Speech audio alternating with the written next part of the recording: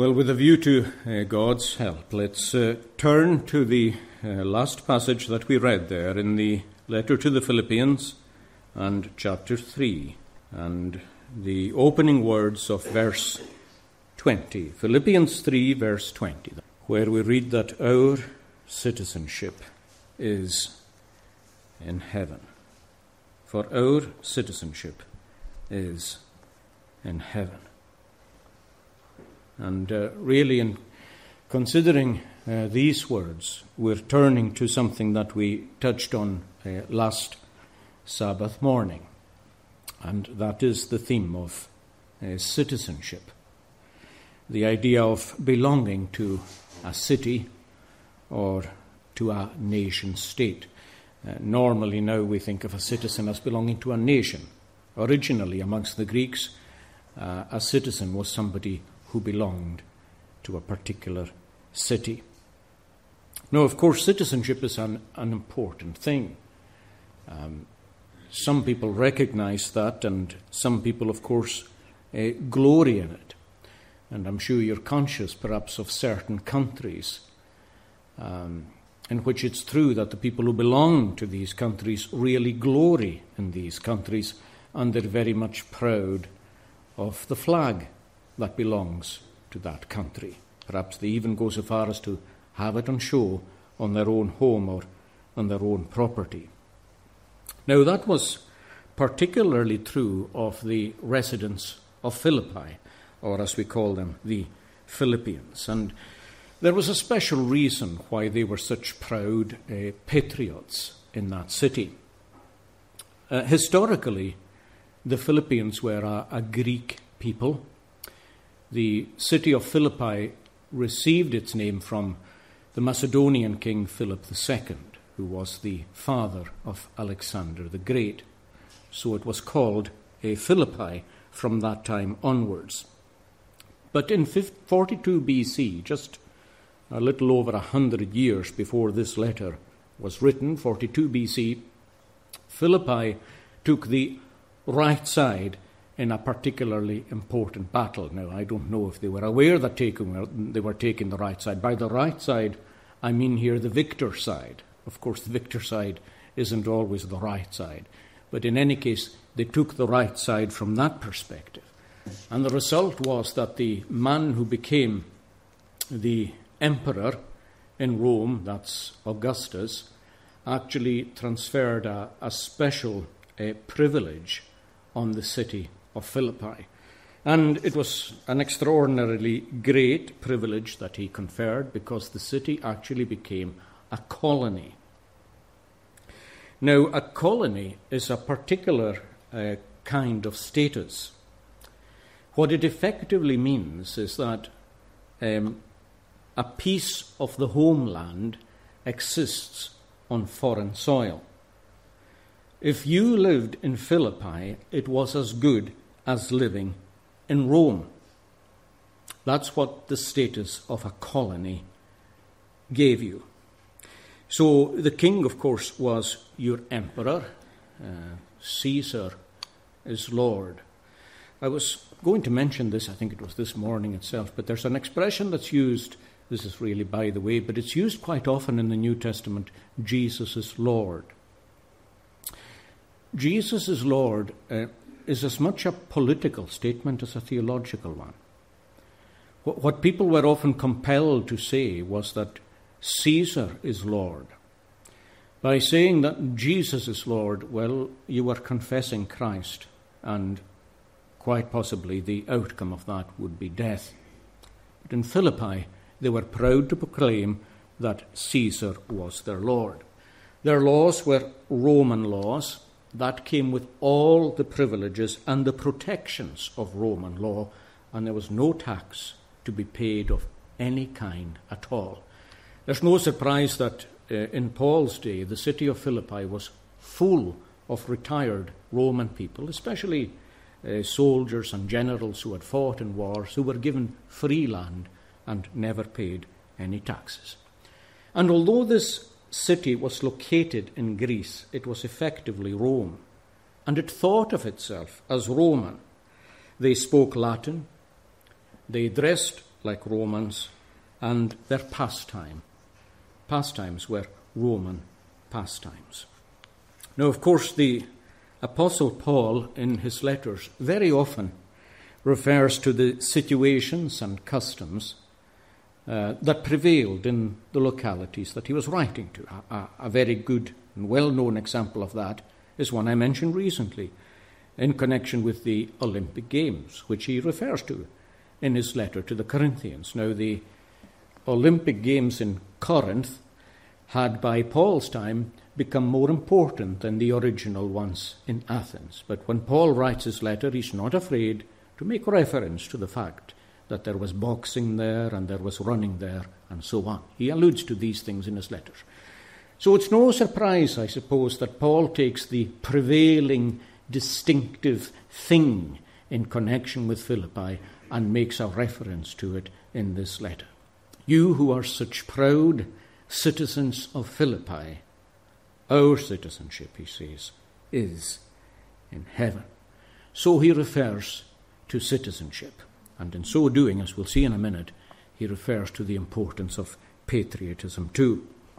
Now, on the face of the text, I mean, just taking it on first reading, it sounds as though he's only talking about one citizenship. Our citizenship is in heaven. But if you look closely at the verses, you'll see that he's actually contrasting two citizenships. The emphasis is on our. Our citizenship is in heaven because there is another citizenship that many people in Philippi glory in. But the two citizenships that Paul is contrasting are as follows. One is, of course, the heavenly citizenship which Christians have. He has it. And all who belong to the Lord Jesus Christ are heavenly citizens. We belong to that city we belong to that country. The other citizenship that he refers to it is a, is a citizenship on earth, not to any particular city on the earth, because at the end of the day they're all the same. The word cosmopolitan means a citizen of the world. Some people delight in referring to themselves as a citizen of the world. And we live in a day when people don't really, well, many people don't like borders. They don't like the idea of nationhood, although nations are here to stay and will be here till the end of time, as the Bible tells us. But they don't like nationhood, they don't like walls, they don't like separation, so they like to think of themselves as belonging to no locality in particular. I am a citizen of the world. The world is mine, and I belong to the world. Where these are the two citizenships that the apostle is contrasting here.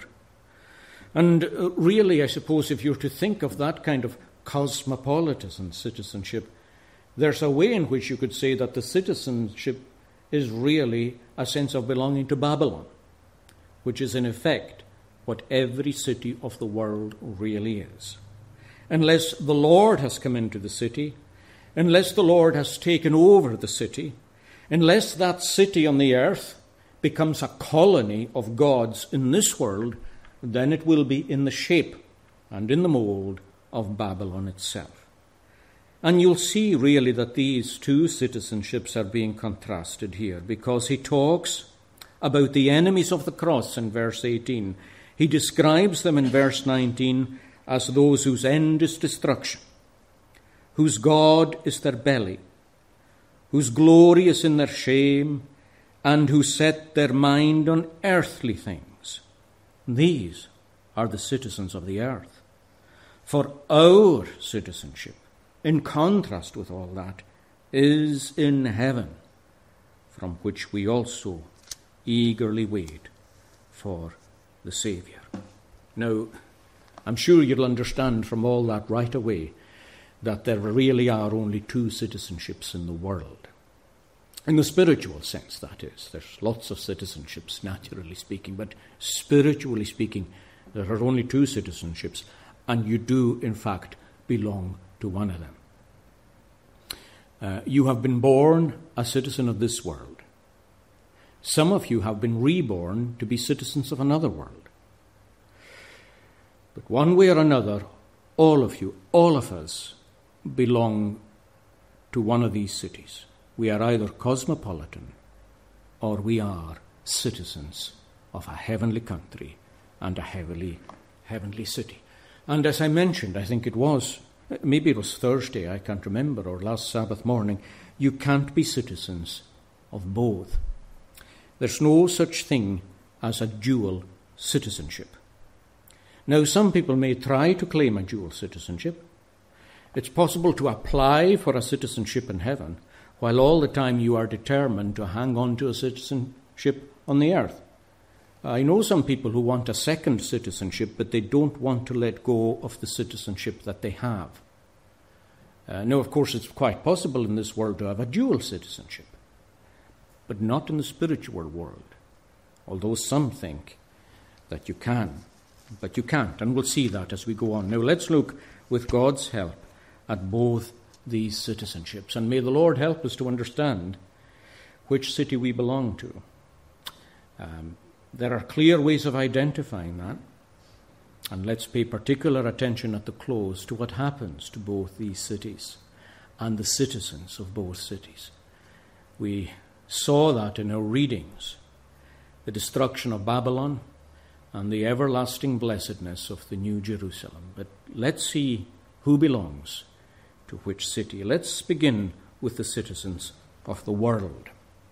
Now, citizens of the world have a king. And I suppose if you or if I was writing this, we might make the king of this world to be Satan himself.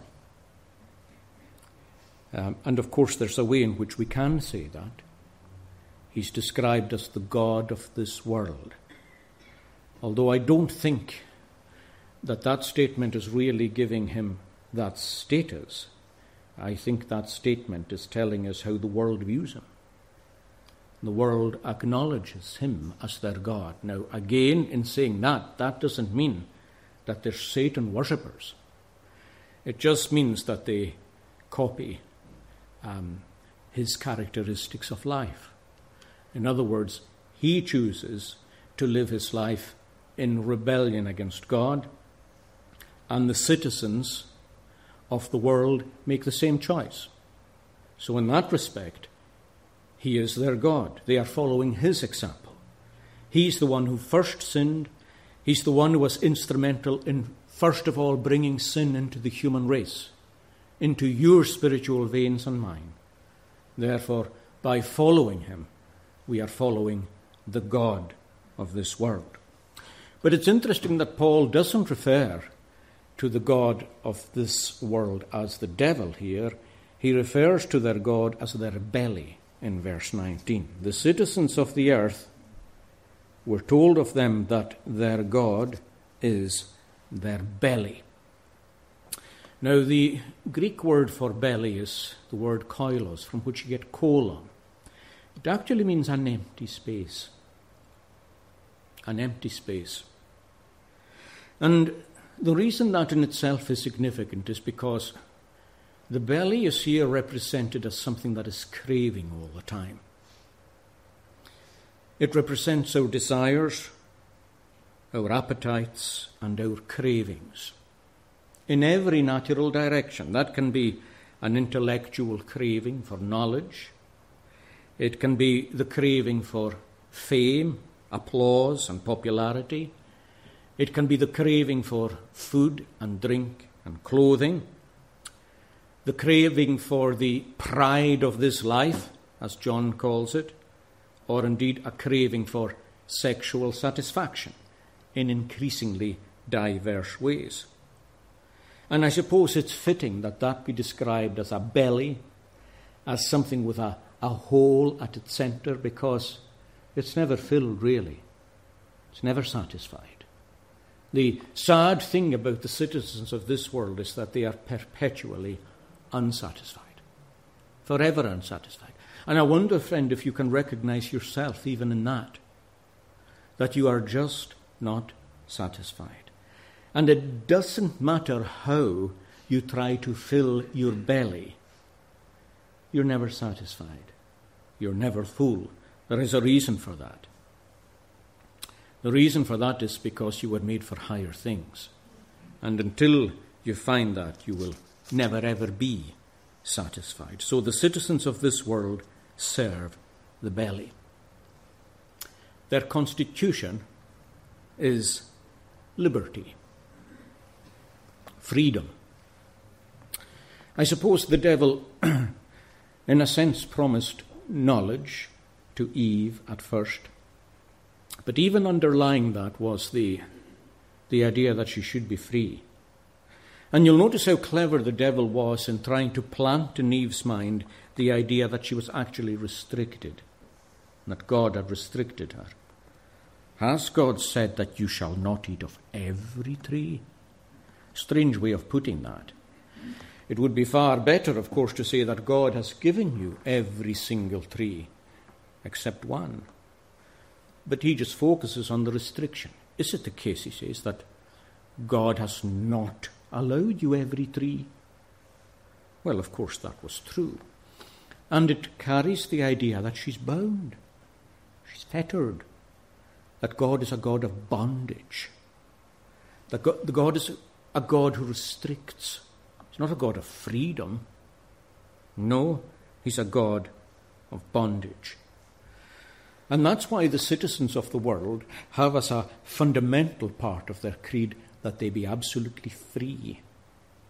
Individual freedom trumps everything else, and all restrictions are unwelcome. And that includes the strange kind of freedoms that we see now, where people believe that they should be free to be, well, anything they like. Really, anything they like. I was going to say to choose their sex or their gender, but it's to choose their identity, period. Now, of course, the French Revolution was a cataclysmic event in Europe, and indeed its shock waves went right throughout the world. But at the heart of the French Revolution was an overthrow of religion. I'm conscious that it ended up being the overthrow of a very debased form of religion in the form of the Catholic Church and its tyranny and so on. But leaving that to the side, right at the heart of it was an overthrow of the authority of God in every shape or form. It even went to the extent that in the French Revolution they tried to change the week from a seven day week to a ten day week. The only reason for that is because a seven day week is in the Word of God. They want to change everything. Of course, a ten day week didn't work because that's not how God designed us. But most of you will know that the watchword or the watchwords of the French Revolution were liberty, equality, and fraternity. Liberty, equality, and fraternity, which of course was all very well until they started disagreeing with each other and going to war with each other and hating each other. And of course, the French Revolution began with a bloodbath of those who were for the old order, but it ended up swiftly being with a bloodbath amongst those who disagreed with each other about that liberty and that fraternity and that equality. And it's no accident, friends, that the most ruthless and tyrannous states in the 20th century were those who had no room for God in their constitutions. That's just a fact. You look at the nations that initiated bloodbaths in the 20th century, and you'll find that they had no God in their hearts. But individual liberty and equality can't coexist. For example, your right, supposedly, to be known by another gender places a duty on me to recognize that gender. But that means that I lose my liberty, and of course, bang goes our fraternity. Liberty and equality can't coexist. That's why you have this clash between feminism and the trans ideology. Humanism, friends, always ends up eating itself. Anti Christianity always ends up eating itself. Anything that doesn't acknowledge the Word of God and truth will eventually collapse in a clash of false ideas and in a clash of lies, all of which should expose the fact that we are building Babylon rather than building New Jerusalem. As I mentioned to you, I think it was last week, uh, Babylon is Babel, which is confusion. The city of confusion, what man always builds. So that's the constitution. Since their God is their belly, their constitution is individual liberty. Let me live as I please. And then, of course, they have a national mindset. A national mindset. Now, there is such a thing as a, a national mindset. Here we're told in verse 19 that the people who are citizens of the earth are setting their mind on earthly things. People speak of a German mindset, British mindset, an American mindset, and so it goes on. Well, the citizens of the world set their mind on earthly things. That means that their focus is on the world. They, they, they don't look up any higher than that. This is where we are. This is our home. And that's why the Lord describes them as people who are constantly asking, What shall we eat, and what shall we drink, and what shall we wear? They're materialistic. After all, they believe that all there is in the universe is matter, so why not be materialistic? They're absorbed in the world. They're absorbed in the things that the world can give them. They're entertained by the things that the world provides and their heroes and celebrities are definitely not Christians. The most strange people become celebrities in the world today the further it drifts away from God. So a national mindset. You're focusing on the world. And of course, because you have a national mindset that focuses on the earth, there is a national way of living too. People can recognize you. You can normally recognize nationalities by the way people speak, by the way they dress, and the way they live their lives. These things appear in very strange ways. Um, I remember someone once um, who visited Germany and said, If you were going to cross the road, he said, it, it doesn't matter. Suppose there was no car there, everybody will wait for the light to go before you cross. You know straight away you're in Germany. Things that mark people out.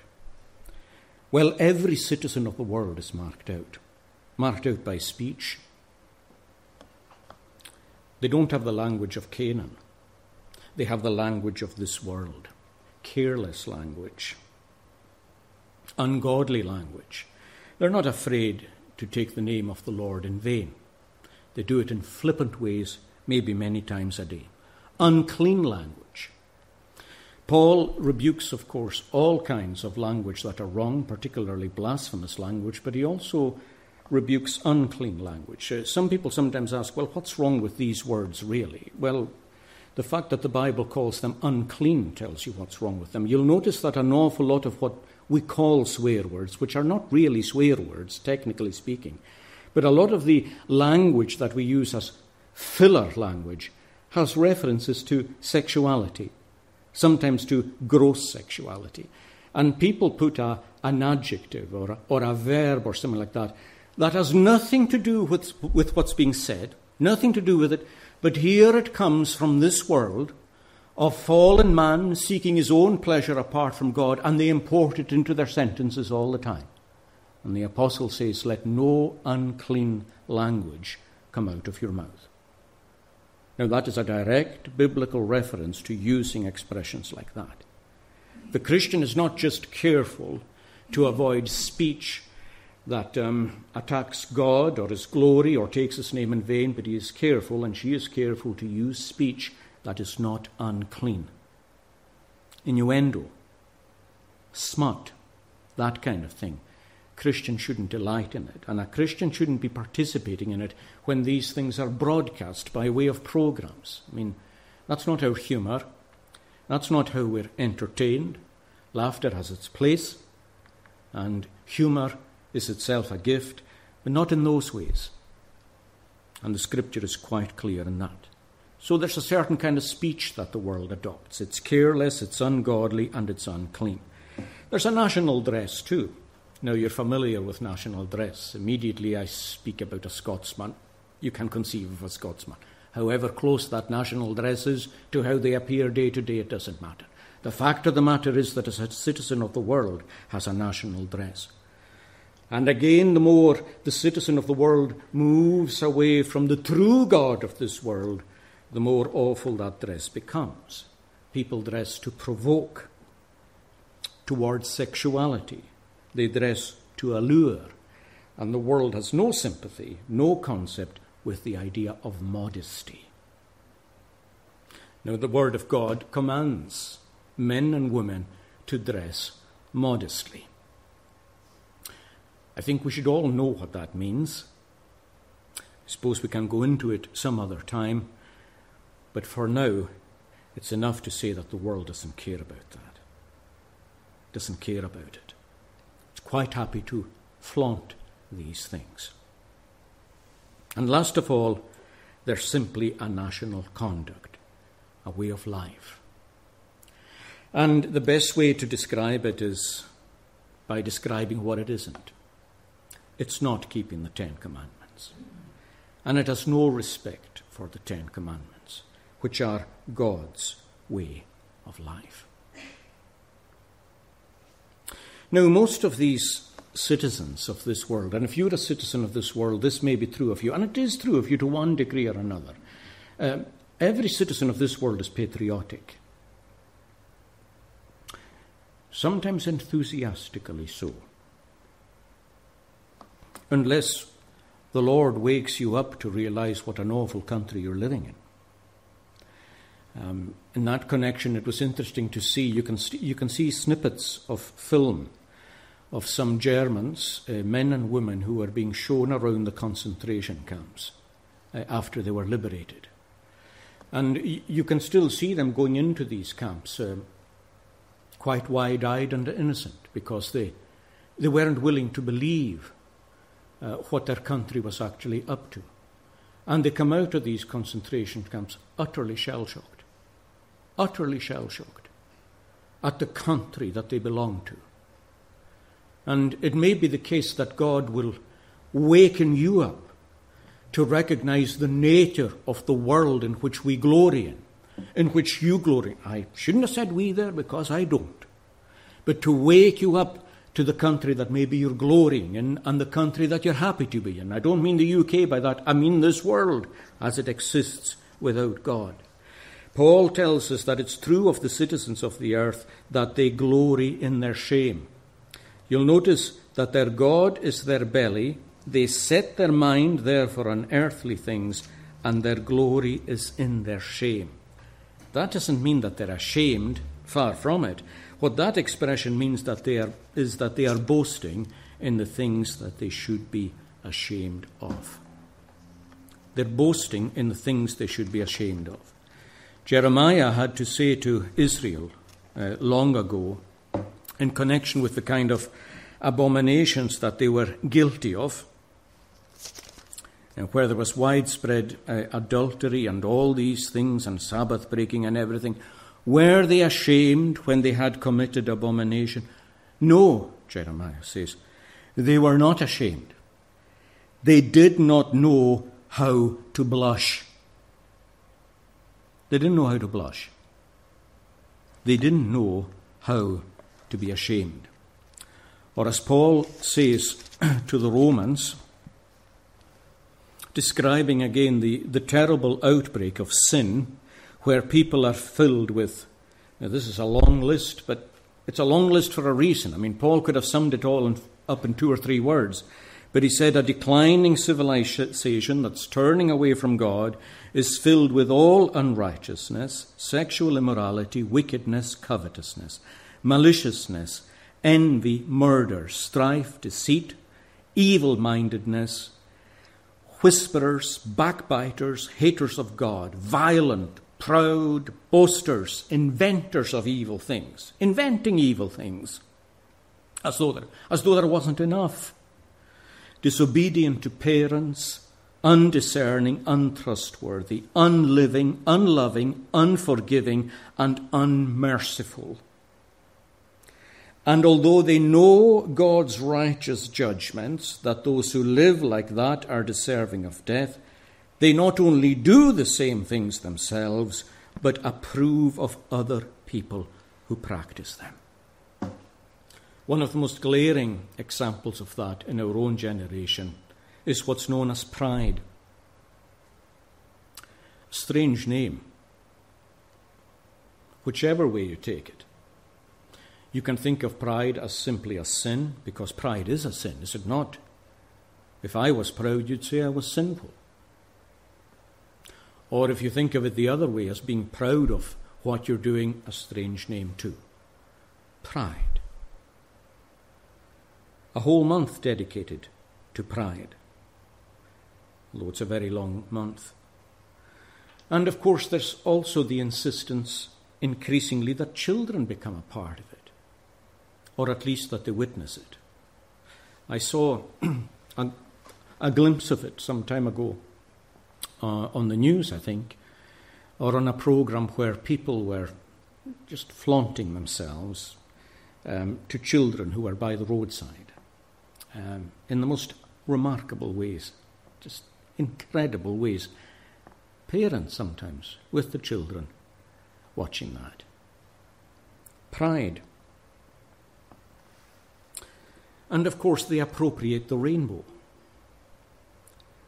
which is again a, a solemn thought. If you wonder why God doesn't pour out his wrath on such things as that, such obvious, um, blatant, and proud uh, defiance of his law and the lifestyle that he gives, if you wonder why God doesn't pour out his wrath on it, it's actually got to do with the rainbow. Uh, many of you will know that um, at a certain point, God instituted the rainbow to be a sign of his covenant with this world. And that was a covenant that said, uh, God said that he would not pour out his wrath in a cosmic way on this world, like he did on the flood. He said, I will not do that again. I will, I will not pour out a cosmic wrath on this world again until the last day comes when the world will be consumed, not this time with water, but by fire. In other words, the rainbow, every time we see it, and it's worth remembering this, I was talking in my prayer about the importance of anticipating the sacraments and recognizing um, when we look at the table what the bread speaks about and what the wine speaks about. But the fact of the matter is that all God's covenants are like that including the covenant with the earth. And every single time you see a rainbow, it's not a reason to say, oh, look, there's a rainbow. It's a reason to remember the covenant that God has made. And the rainbow's message is essentially this that God is not willing that any should perish, but that all should come to repentance. And in that kind of way, it is there's almost, don't misunderstand me, but there's almost an appropriateness to it. Um, in one way, of course, certainly not. But in another way, it's a reminder to us that the only reason God is not intervening here is because He is slow to wrath, and He is plenteous in mercy, and He is not willing that any should perish, but that all should come to repentance. And when you look at such things and wonder how God does not intervene, you see the flag. And strangely enough, the flag tells you that God is not intervening because he is still merciful. And these patriots, too, as well as being proud of their shame, they are also deeply opposed to the cross of Christ. We're told in verse 18 that they are the enemies of the cross. Now, um, Paul is sorry to say that some of these were people who walked with them, with themselves at one point. Some walk, he says, of whom I tell you now, even weeping, that they are enemies of the cross of Christ. No, that is not just his general weeping for the lost, which is an important thing, and which we can't afford to lose ourselves. Even in the midst of all that, and the provocation of all that, we should weep too, because these are people who are lost and they are heading into a deeper condition of lostness, and there's a weeping in connection with that. There ought to be. But this particular weeping that the apostle speaks of has, has reference to those who once walked with themselves, but now have renounced the cross and have actually become enemies of the cross of Christ. Why are they enemies of the cross? Well, because it's a Christian symbol and they hate it. You'll notice how, how there's opposition even to little crosses that people wear. I'm not commenting just now on the fact that people wear it, but you'll notice the opposition to it. They don't like it. The cross is a symbol of God and of God's sovereignty in the world and God's plan of redemption and what God calls sin and what God calls righteousness. And they are deeply opposed to it. Now, who has this citizenship? Well, sad to say, friends, everybody's got it. If we're born into this world, we are citizens of this world, unless something happens to change that. But there is another citizenship. And that's what he means when he says, Our citizenship is in heaven. There's another country, there's another city in that country. The country is the heavenly country of Hebrews 11 that we saw last Sabbath morning, and the city, of course, is the New Jerusalem itself. This country is outside of this visible universe. It is the heaven of heavens. It is the third heaven in which the Lord Himself dwells. And it's dominated by a large city, which is itself dominated by the very presence of God in His glory and in his splendor. And he has built this city, and he's populating this city. As we saw last Sabbath, its maker and its builder is God. Now, the king of this city, well, the God of this city was the belly, but the God of this city is the Lord Jesus Christ, who is reigning even now, today, from heaven. And the scepter that he stretches out from heaven is reaching right down here to the earth. That, of course, explains Psalm 2. Psalm 2 doesn't like. Doesn't like the intrusion of this country into this country. The citizens of this country think they own it. They think they have the right to regulate and to rule it. In fact, they think that Christians are interfering in the right government of this country. And they don't like the scepter of the Lord being stretched out from heaven onto the earth. But of course, the Lord Jesus Christ's kingdom is not of this world. It doesn't have its origin here. It's actually in here, all right. It's in the world, all right. But it doesn't originate there because he himself doesn't originate there. Our king is from heaven, and our king tonight is in heaven. What's the constitution of this kingdom? Well, every country or city has its constitution. Roman law for the Romans, English common law for the English, Scots law for the Scots. What's the law of Christ's kingdom? The law of Christ. It is indeed the Ten Commandments.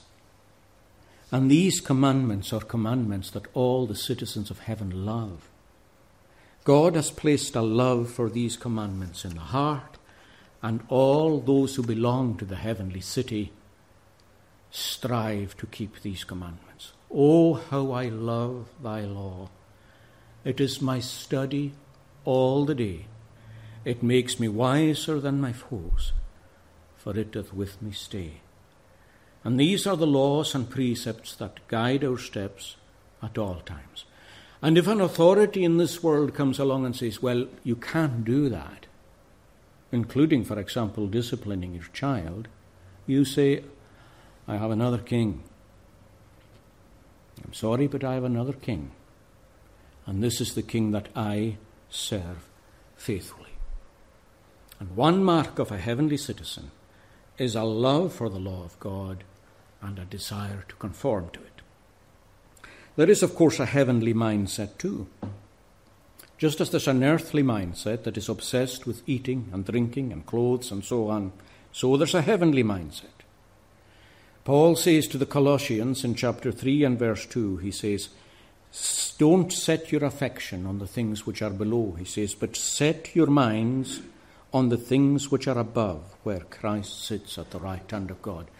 That's where the Christian's mindset is. Not here, but there. How do we set our mind on heavenly things? Well, first of all, by setting our mind on the heavenly man himself, the Lord Jesus Christ. He who sits himself at the right hand of God. His pre existence, his eternal love, which was going forth towards us before the world itself ever began. His miraculous birth, his teaching and life, his death, his resurrection, his ascension into heaven, his session at the right hand of God, and the ongoing miraculous work of the Holy Spirit, which brings the work of heaven into this earthly domain. Set your mind on the Lord Jesus Christ Himself. Again, set your mind on his heavenly call on you, a call to exercise faith in him, and a call to exercise holiness of life. You set your mind on that. You start thinking about how it is that the Lord Jesus Christ wants you to live. For example, again in the letter to the Colossians, as the elect of God, heavenly citizens, put on tender mercy. Think about that. That's a lot in itself. Put on kindness, even to your enemies. Humility, meekness, long suffering.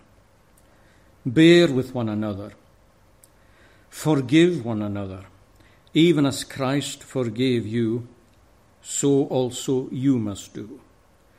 And over and above all these garments, he says, put on love, which is the bond of perfection. And let the peace of God, this heavenly peace from this heavenly man, let it rule in your hearts, to which you are called in one body. You think on your heavenly calling, or even as Paul says to the Philippians here, and we thought about this very recently at a prayer meeting.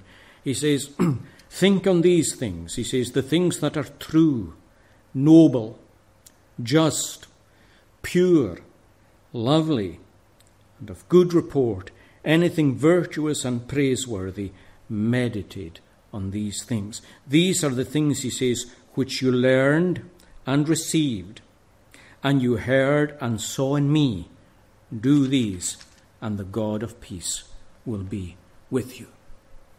So you think of the heavenly Christ, your King, and the heavenly call that he has on your life, which is to be like himself, which leads you, last of all, to think of your heavenly home. Um, you've never been. You've never been.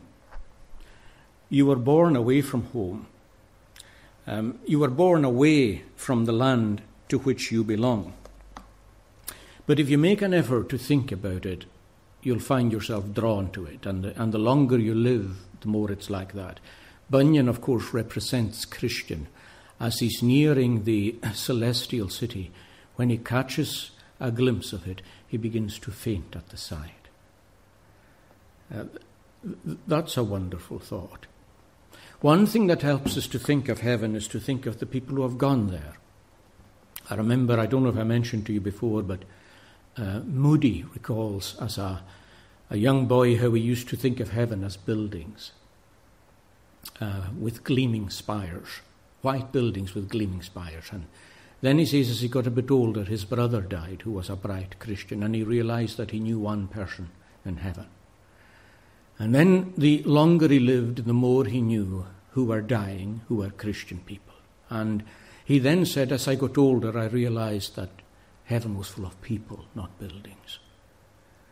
And that's a wonderful thing. And I was talking to a couple of the brethren today who are, shall we say, more advanced in years than I am. And I was saying to them the number of people that they must know and must have known who have gone home to glory. There's something in that that quickens your own steps heavenward. Not just the Lord of glory himself being there, which is, of course, the greatest thing of all, but all his people too. When you think of that place so full of purity and glory and fellowship, when you think of it so full of uh, gladness and joy, when you think of it so utterly devoid and absent of sin and sorrow and sighing, regret and remorse and pain, well, who wouldn't want to be there? And as you think of it, you're drawn to it. I mentioned that last Sabbath morning when it spoke of all the patriarchs who left their comforts. If, if they had a mind to return, they would have returned. But now they seek a better country, a heavenly country, and God is not ashamed to be called their God. And because these citizens have a heavenly mindset, that means that they have a heavenly walk as well. Now, um, that, that's pretty much the opposite. I don't need to go on about it, but it's the opposite of what I said belongs to the citizens of this earth. For example, their speech changes. My speech changed when I became a Christian. Maybe yours needs to change too. Maybe even listening to yourself speak would be a shock to you. Uh, uh some of you will remember the Watergate scandal in which uh, President Nixon was involved, a Republican president in 1974. And uh, he was, was, claiming, of course, that he was innocent of the charges against him, uh, which was plotting and planning certain things. But he had forgotten that everything he said in the White House was taped. And these tapes were played back to him. And you know, um, Nixon, Nixon said that what shocked him the most was uh, his language, how foul his language was. He didn't really realize it until it was played back to him on tape. I wonder how many things will shock us about our own lives when they're replayed back on the day of judgment. And replayed they will be. Wonder how many things may shock us about how we spoke and how we thought and how we conducted ourselves in this life. You need a Saviour, my friend. I need a Saviour. We all need a Saviour. But a Christian speech changes. Your speech is seasoned with salt. Instead of these unclean adjectives, in come descriptive adjectives. We begin to speak as God intended us to speak. Our clothing is the same. That sobers up and it becomes modest. And of course, our whole life is a conforming to the life that the Lord would have us live. Now, who belongs to this country and city? Well, it's very simple. Once born means you're a citizen of this world, twice born, you're a citizen of that world. In fact, when, when Christ says to Nicodemus, You must be born again, literally in the Greek language, that's you must be born from above. You must have a second birth, and it must be from above. The heavenly Spirit of the Lord Jesus, notice, notice how it's all heaven coming down. The heavenly Spirit of the Lord Jesus Christ comes into your worldly heart and makes you a new creature and invests you with a new citizenship. And you are no longer the person you were before.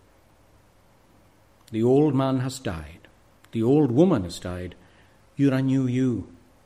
That truth is so stupendous that. Um, we should think about it every day. You are heavenly. You are heavenly. The spirit that governs you is a spirit from heaven that is conforming you into the image of the heavenly man.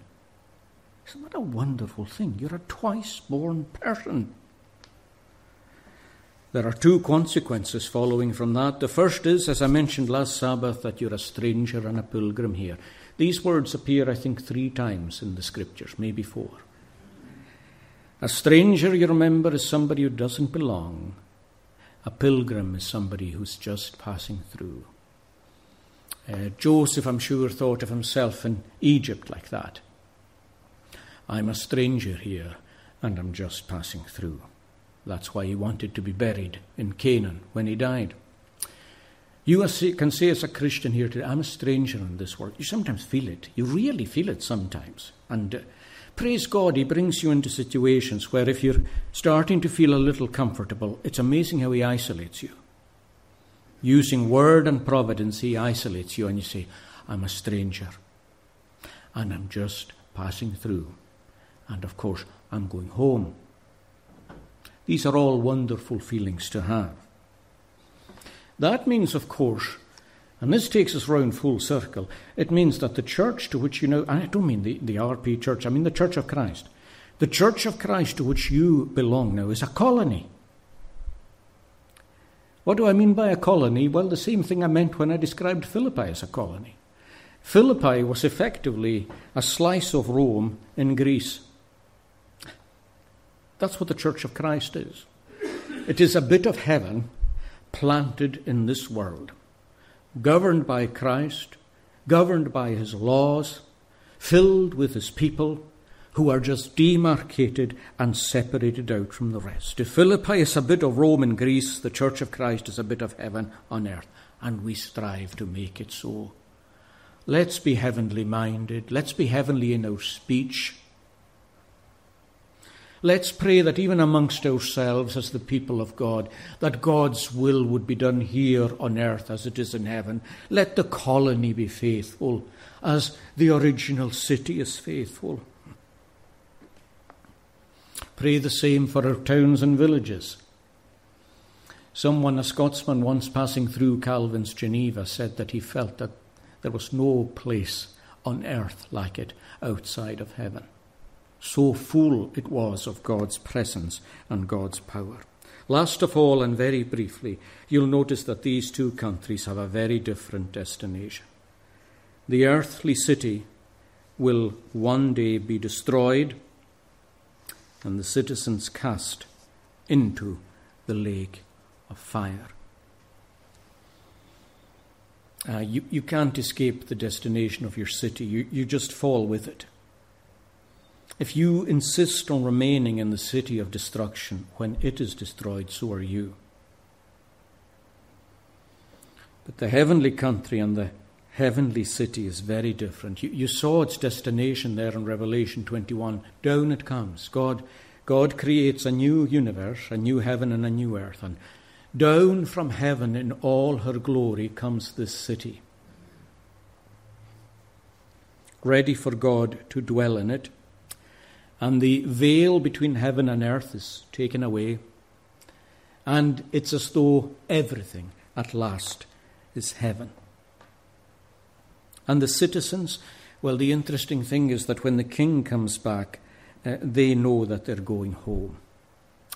Unbelievers who are alive when the king appears, they start praying at last, but in the wrong direction and for the wrong things. They start praying that the hills would fall upon them and that the mountains would cover them. But the Lord's people recognize that Christ is coming to take them home. And the marvelous thing is that as He descends and as they ascend, He reconstitutes their bodies using the same DNA so that they're all the same as who they were before.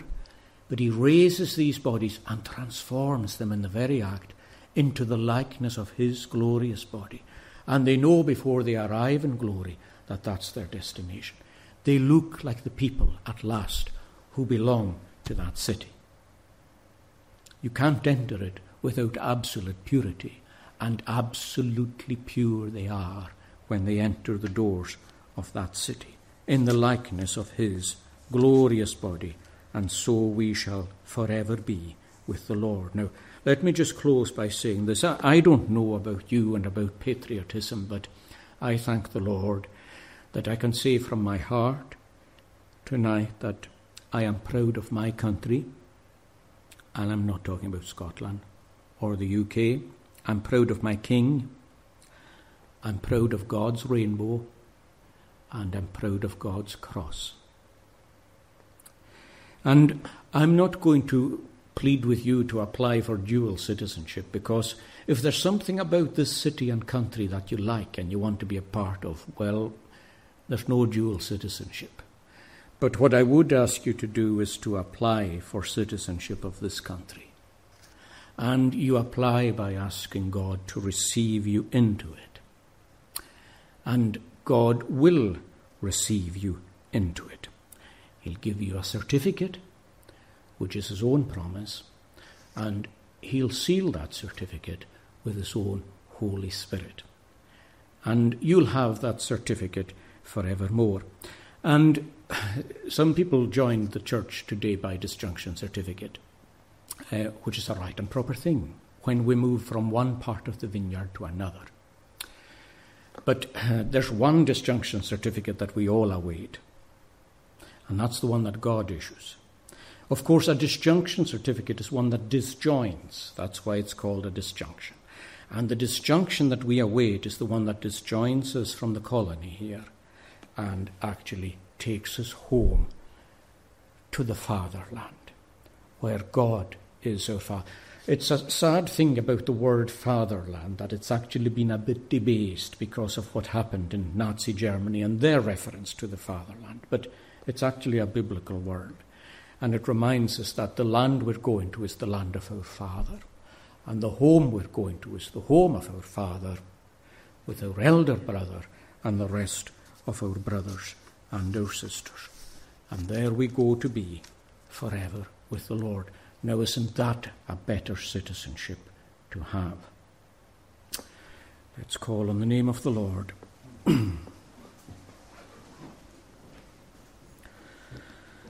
Eternal One, we uh, bless your name this evening, that uh, a citizenship is open to us all. In the psalm that we sang, the people who came from Babylon and from Egypt and from Ethiopia, all came from lands that were shrouded in darkness. And some of these lands were in bitter opposition to the people of God, but yet they were enrolled in Zion. And we pray for those tonight who may be glorying in what they should be ashamed of, and pray that they would find a citizenship, even as we have found it. And we ask your blessing upon the word. May it be effective and fruitful in our own lives until we are disjoined from here to there. In the precious name of Christ our Lord. Amen.